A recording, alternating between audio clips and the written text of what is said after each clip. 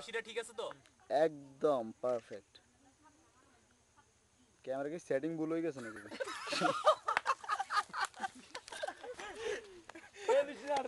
ঘটনা তো এটাই এতক্ষণ ভিডিও হয়েছে।